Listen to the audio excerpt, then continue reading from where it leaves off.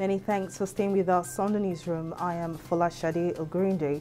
The federal government has ruled out the possibility of cancellation or postponement of the 2023 elections despite INEC's alarm on rising insecurity and its impact on the forthcoming polls.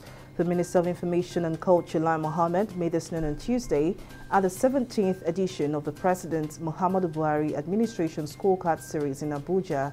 The minister added that there is no cause for alarm as all hands are on deck to ensure peaceful and credible conduct of the polls.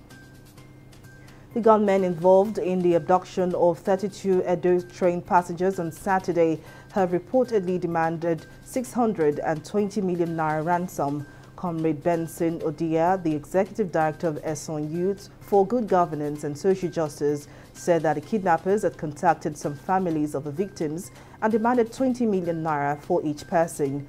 Odia appealed to the authorities to intensify efforts at rescuing those still being held captive by the gunmen.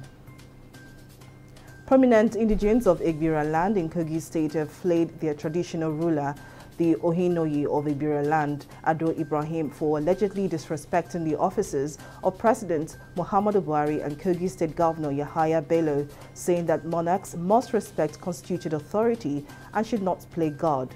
While throwing their full weight behind a recent query given to the Ebira land monarch for allegedly disrespecting the offices of President Muhammadu Buhari and the governor, the Ebira leaders explained that there has been no regime in Kogi State that has not queried the monarch.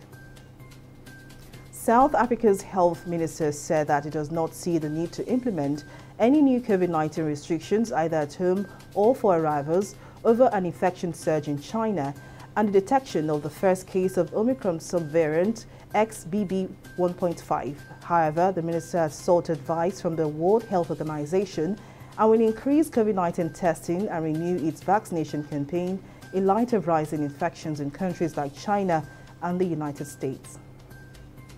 In business, the Central Bank of Nigeria, CBN, has threatened to penalize commercial banks who fail to comply with the directive of loading the redesigned Naira notes in their automated teller machines, ATMs.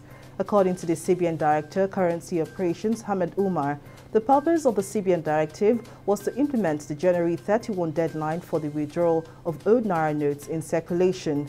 Last week, the CBN ordered banks to halt dispensing the new currency notes over the counter and to only make them available via ATMs.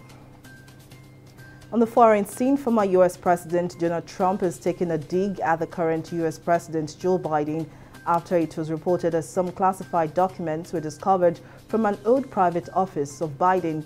On Monday, Biden's attorney acknowledged that several classified documents from Biden's vice presidential and presidential tenure were found last fall from an old private office of the U.S. president.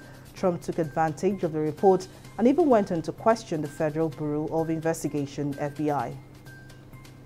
In sports, Wales manager Rob Page wants Gareth Bale to stay involved in the international setup after the star forward announced he was hanging up his boots. Bale, a five-time Champions League winner at Real Madrid, ended a glittering career on Monday after winning 111 caps and scoring 41 goals for his country, both national records for the men's team. The 33-year-old's decision to quit came after Wales' disappointing performance at the World Cup in Qatar when Page's team failed to get out of their group and Bale struggled due to a lack of match fitness. That's it from the newsroom. Many thanks for watching.